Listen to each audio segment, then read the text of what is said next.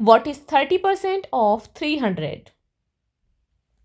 Write 30% as 30 upon 100 since finding the fraction of a number is same as multiplying the fraction with the number we have. 30 upon 100 of 300 which is equal to 30 upon 100 into 300. First we cancel out zeros. After cancel out zeros we get 30 multiplied by 3. 33s are 90. Therefore the answer is 90. If you are using a calculator, simply enter 30 divided by 100 into 300 which will give you 90 as the answer. For more such videos, please subscribe our channel and press the bell icon for the latest notifications. Thank you.